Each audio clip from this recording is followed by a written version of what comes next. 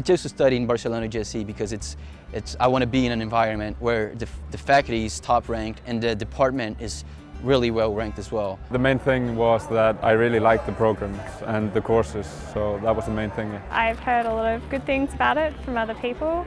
I know that the course is very challenging and when you come out at the other end you've always got something that you can go to. My first impression was so great because uh, it's the first time I come in a university uh, doing uh, such a nice welcome for the students. I was feeling like part of a family. The staff is really helpful uh, from the very first moment to the application. Whenever I have doubts and, and, and, questions about it, they were really helpful and really present to help me. The talks were quite funny and I think it was, uh, well, somewhat useful information. I mean, it's been a few weeks already, so I guess I know some things already, but it's good to put faces to names of people who've been sending us emails and things like that, so it's been nice, yeah.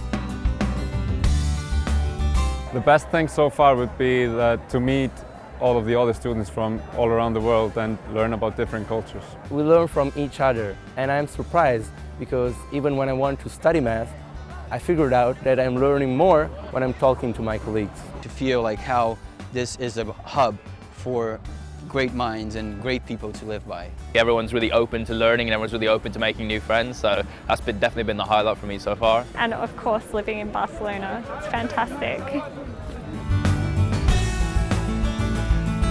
I would like to go back to my country, it's my dream, and to apply the things I just learned here. I think I quite want to get a job here and I think it's a good um, good thing about the school because they have a lot of connections and I know a lot of people in my class the last year stayed in Barcelona and to me that's really really appealing. I will see what's going to happen after this master.